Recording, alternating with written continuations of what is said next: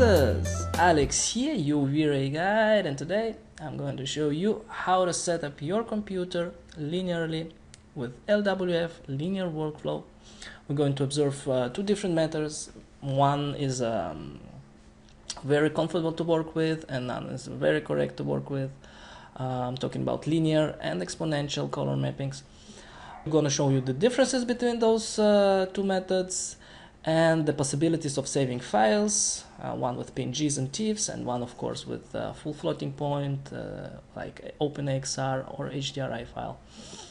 And um, I'm going to show you how to set up your system to Gamma 2.2 um, this is the most common emails that I'm getting um, that I got last week.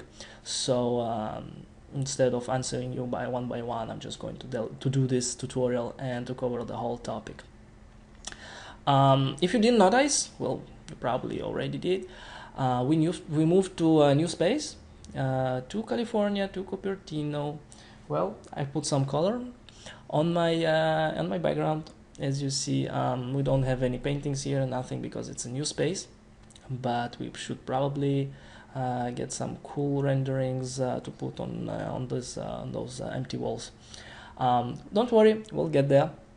Anyway to our topic today um, the first thing is uh, what that you want to do in order to see and to, to get the correct colors the correct exposures um, as you see here on this image in order to do that, um, you need uh, to set up your computer. Uh, your gamma is basically what um, what refers to um, to your uh, all your system, how you see it, how you view it, how you get your textures into your system, into your 3D Max. Well, in order to do it correctly and linearly, you need to open your uh, preferences, customize preferences. You go to Gamma and LUT and you need to set up your system to gamma 2.2 so in this dialog what you need to do is uh, to enable gamma LUT correction uh, also enable state with uh, 3d max files set up your gamma to 2.2 uh, tick those guys here enable color selector and materials editor this will basically will show uh, the colors and will uh, show the textures correctly with uh, Gamma 2.2 applied in your material editor in 3D Max. And the last thing you want to do is to put here input 2.2 as well. This basically will bring all, uh, all uh, your textures in 3D Max and will apply automatically to all your textures Gamma 2.2. But as I said before, if there is uh, uh, if, if the texture comes too dark, that means it's got already 2.2 uh, gamma applied to it in the profile image. So what you want to basically do is go and do it manually. Just click on your texture and in the import dialog set the override to 1 just to bring it back uh, to the normal state if it's too dark. If it's not if it's okay uh, this should work uh, just fine with all your textures. Um, so uh, this is it on this topic on setting your computer. This work basically for two methods. This is how you should uh, calibrate uh, your system your 3d max. Okay? You can also use uh, uh devices for uh, monitor calibration um, I've covered this topic in my, uh, in my, on my blog you can read about system configuration but um, if you don't want to put too much money out on, on, on stuff like uh, calibration devices and, and uh, or expensive monitor stuff like that. Just set up your system, set up your 3D Max, and you'll be fine. Okay. The next thing is I'm going to show you the method that I'm working with, that I'm uh, very comfortable with. Um, I'm working with exponential as a color mapping. This is not the right uh, way to work. It's not the linear. It's like I call it fake linear but it produces really nice results and I get to save uh, PNGs and TIFFs just as it is. I don't calibrate my frame buffer. What I see in my frame buffer is exactly the image that I'm going to save and uh, I'm going to work with in uh, Photoshop.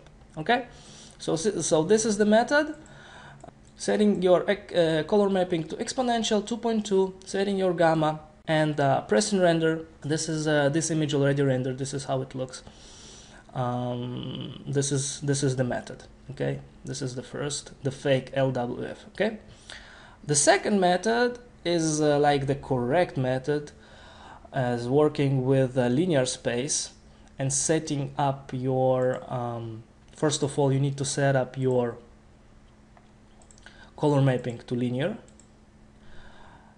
All of those gamma bright multiply and dark multiply to 111 so it will be linearly. Also tick this out. You don't want to clamp your your colors. You want to give the full floating point of, of color depth and um, to, in, in, order to enable uh, the color range um, fully in your uh, in your files and you want to save this file as uh, OpenEXR if you save this file uh, after render as uh, as PNG uh, or, or TIFF, it will not basically be very efficient way to do to work with. Okay, so if we back, if we just go back to uh, to the previous method with uh, with exponential and uh, gamma 2.2 here if we save this file as an OpenEXR let me just show you what will happen.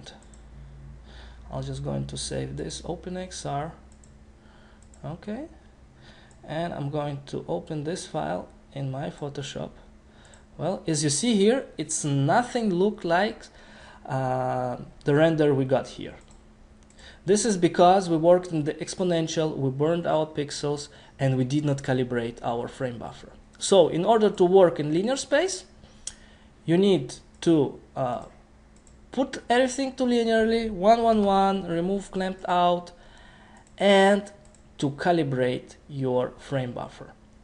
You can uh, do it by uh, selecting the by uh, pressing this sRGB button or you can uh, you can open your um, color correction and to put this to 1.6 and this to 3 point. Activate it right here.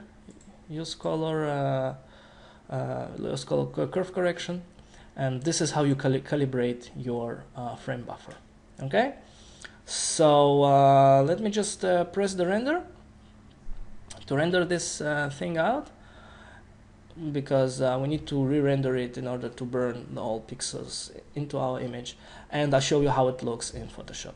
So um, in a bit. Alright the render is done.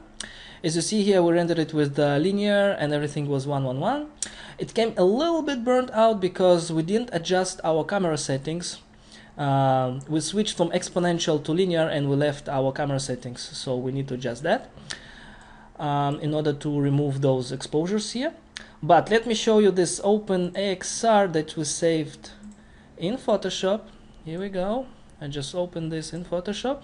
And as you see here, it's the same, exactly the same file as we rendered. It looks exactly the same as our render here.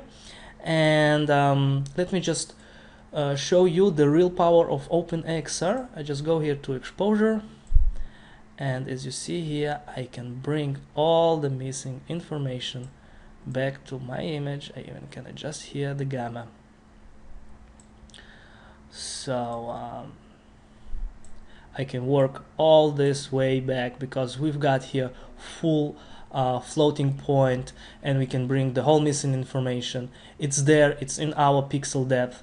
So this is basically the power of uh, OpenEXR files. So just remember, if you work with exponential, you can save PNGs and TIFFs, but you need to work your color mapping to gamma 2.2, and there is no need to calibrate your frame buffer. Uh, and if you work with linear, you need to set everything to 111 and calibrate your frame buffer. And the saving file will be OpenEXR. So um, if you like this video, just click below, like it, uh, share it with your friends um, send it, spread the word. I will be very, very thankful to you. And um, as you already know, in few days, something really great is going to come out. So stay tuned. This was Alex, your V-Ray guide. Talk.